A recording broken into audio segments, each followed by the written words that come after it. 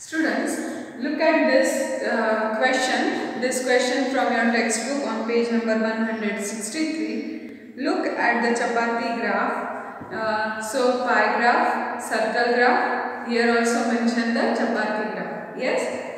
So, showing the students' favorite after school activities of 80 students. So, 80 students are given the responses what they like most to do the activity after school.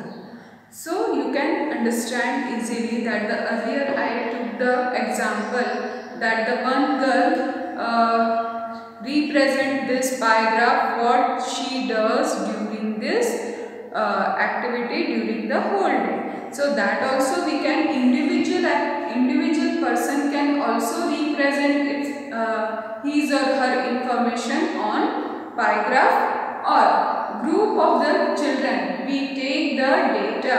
What what particular it is asked here in this question? That what they like to do after school hours school time okay? So which activity uh, in which activity they spend their time after the school hour. So, here in the uh, pie graph, uh, there are 18 students, they respond, the responses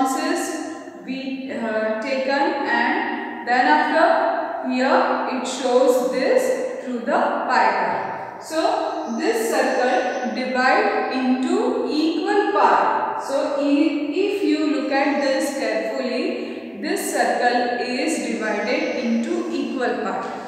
But what we will see, how we will compare, here this circle is divided into equal part. But you can write this, how in the fraction. In the fraction also we can say now you are able to understand that the greater fraction or the decimal number that you learn. So now you are able and through this pie graph also easily you understand that maximum time is spent activity sports. Okay. Here the different activity which are there using laptop. Yes, using laptop and uh, yes this using laptop also for the both that I represent to the dogs. Here the next activity is sports. So slightly shaded part you can see and here watching TV with represent with this part and with zigzag line and for dancing I use uh, to represent this part by diagonal lines. So students here the four activities uh, students share about their views. So now on that basis we can write the, uh, we will see this question most popular activity. So maximum student like to spend their time after the school. What activity? Sports. So they like to play sports. Okay. Now here the list favorite. List favorite means that you can see the list part of the whole. So list part dancing. Okay. If I want to say how I uh, represent this dancing in this fraction. So 1 eighth. Okay. Here 1 eighth is obviously it represent the dancing activity. So these students are spend their time in dancing after the school hours. Next, equally liked by children. Equally liked by children. So here, which are the activities equally liked by children? Here, watching TV and dancing. If you see this part of the fraction, this part of the whole or we can say the fraction. So 1 8 time spent in watching TV and 1 8 part uh, of the whole students like dancing. Okay. Now last question is how many children like laptop and sports? How many children like laptop and sports? So here they are asking about the number of children. So how we will get the answer?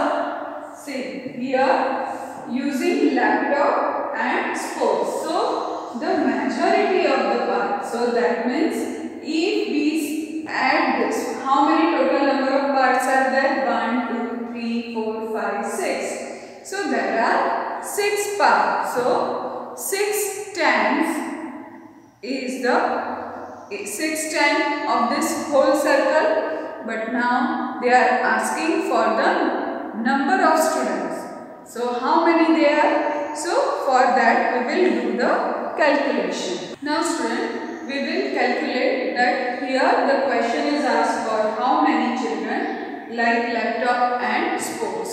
So these two are activity. First we will write in the fraction. Okay. So using laptop, how many uh, parts are there? There are two eights part plus here for the sports it represents four parts of whole and whole has eight parts. So these are this like fraction we can add easily 6 8. Now what 6 8? Here the 6 8 of 80 students like 6 8 students like activity laptop and sports out of 80 yes so we can write this 6 8 of 80.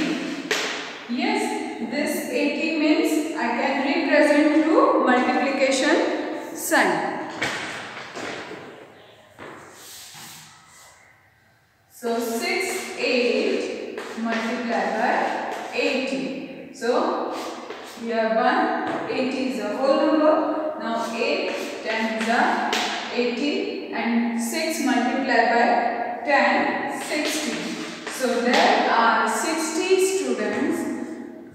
They, how many children like laptop and sports? So there are 60 uh, children like laptop and sports after the school hour. They like this activity to engage themselves after the school hour.